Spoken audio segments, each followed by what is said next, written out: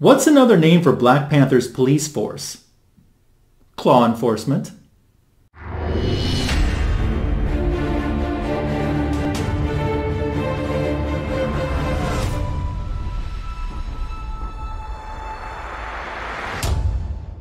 Hey, thanks for checking out Cover Bye today. On behalf of Cookie from Just a Little Podcast, Comics for Thomas, and myself, we're very happy that you're here.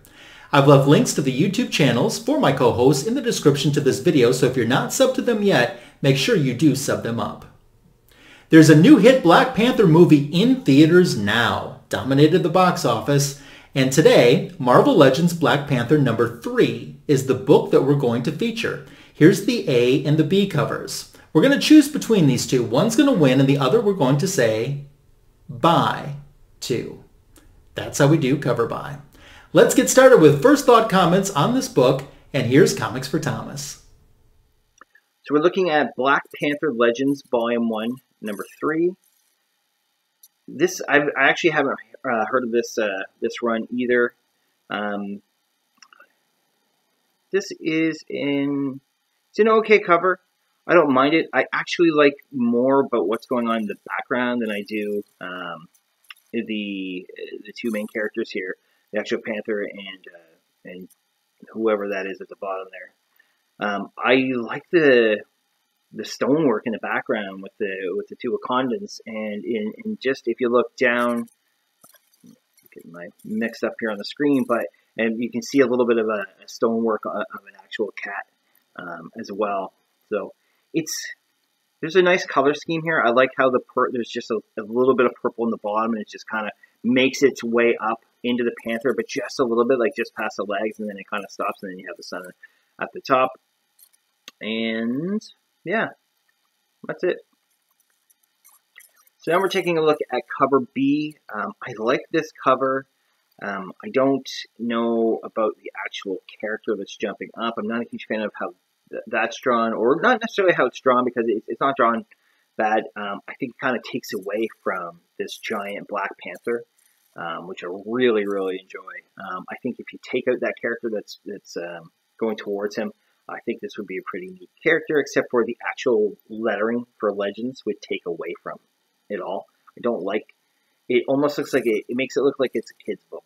Um, not that not that comic books are not kids books.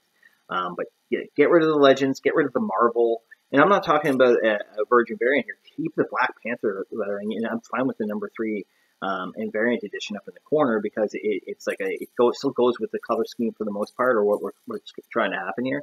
Um, but yeah, get rid of that whoever that character is, um, and then just keep this giant, awesome looking Black Panther. Love the the kind of cape coming out as well. That's cool.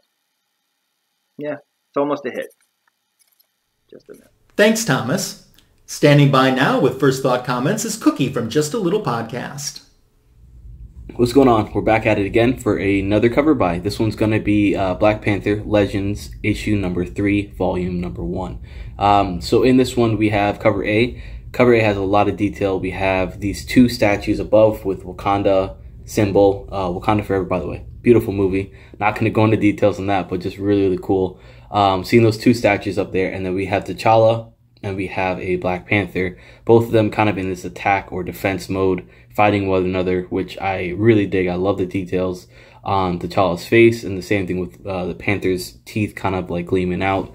I love the uh, muscle atrophy on both of them. Like the arms is really good. The stance is really cool as well. And in this right corner, we have this like stone that also looks like a, uh, a panther as well. So I like that as well. I like the color scheme I'm not really crazy about the Marvel's Legends of Black Panther at the top. I don't really care for the Legends part of it. It kind of just seems out of place for me. But I really do like how everything is really structured together. It's really cool cover. I'm digging it. On to the other cover where we have cover B. We have T'Challa and we have the Black Panther suit. And I'm liking this one as well. I think this is really cool. I love the fact that we have the beads on his hand, same as cover A. But I love that there's like a half mask on him um, I, I, dig that. I dig the Black Panther um, way that they've kind of drawn him out and how he's kind of in there. They're fighting each other. It's almost like he's fighting within. So I'm liking this cover as well. Same concept with the title block. I'm not really crazy about the title block and where it sits. Um, both of these covers are not great covers in my opinion. They're okay. It seems like this might be more tailored towards a younger audience. I could be wrong though. Um, but this one's yeah, kind of interesting on how this one's uh, set up. The cover B, I don't really care for the backdrop and how the detail is kind of giving you this African esque feel. I'm not too crazy about it, but yeah, those are your cover A and cover B. Thanks, Cookie. I haven't seen the new Black Panther movie yet myself, but I'm looking forward to it. Just about every one of my friends had positive things to say about the movie, so I'm anxious to check it out. Earlier this year, Marvel released a four-issue miniseries, Marvel Legends Black Panther. This is issue number three. I haven't read the series, but from what I understand, it takes place during T'Challa's youth. He's been imprisoned by his adopted brother, Hunter. Looking at the A cover, now I'm not sure if this is Hunter or if this is the young T'Challa on the cover, but I do like the fact that there is a literal Black Panther imposing itself against our main character on the cover. I mean, I see the metaphors to that. I love uh, Wakanda in the background. That definitely interests me. Uh, I love the scenery.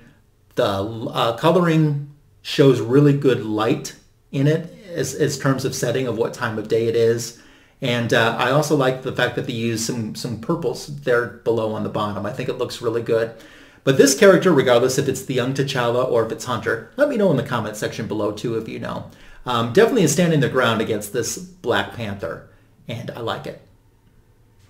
Now looking over at the B cover, I mean, this is a metaphoric cover as well. It's almost a David versus Goliath theme. And I like the fact that we've got our younger character really just ready to take on the big menacing T'Challa-like Black Panther character, if that is T'Challa inside the Black Panther costume.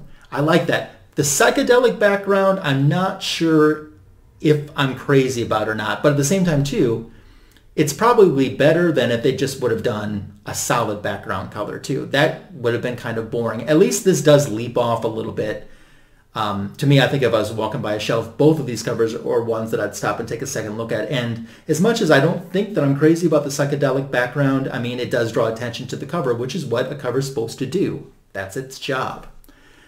I like how T'Challa is really drawn on this cover too, or at least Black Panther, I should say, because I don't know if it's T'Challa inside. I like how he's drawn on this cover. So I think there's some really good covers here to choose from. And I don't know to be very honest with you, which one I'm going to pick yet. Luckily, I have a few minutes to decide because I'm going to bring the rest of our panel back first and let them make their choices, starting with Comics for Thomas. So I think it's this one's pretty obvious to tell. I'm going with cover B. I just like more what's going on.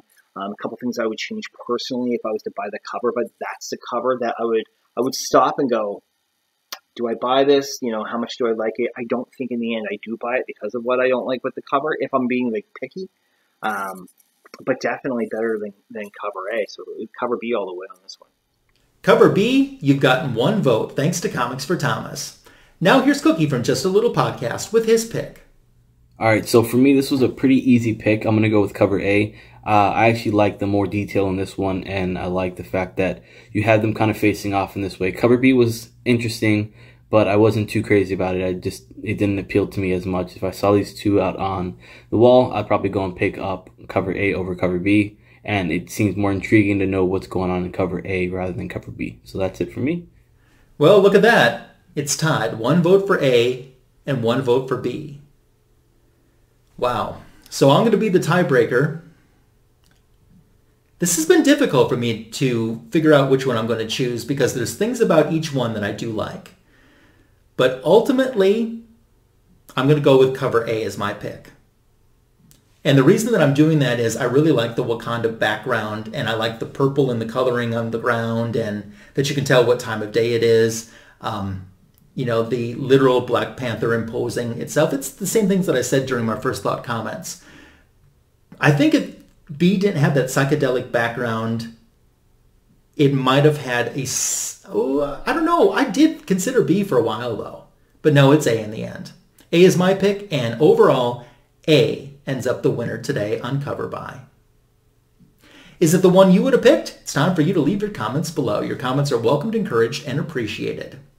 By the way, I have a contest going on where I'm giving away the comic book that I wrote, Female Force Loretta Lynn. See my November 1st, 2022 video to get all of the details and to enter. It's a pretty simple contest to enter as well.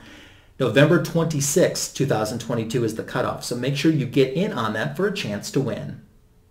That brings us to the end of today's cover bye. Once again, subscribe to our entire panel uh, and my channel if you haven't already. It certainly is appreciated.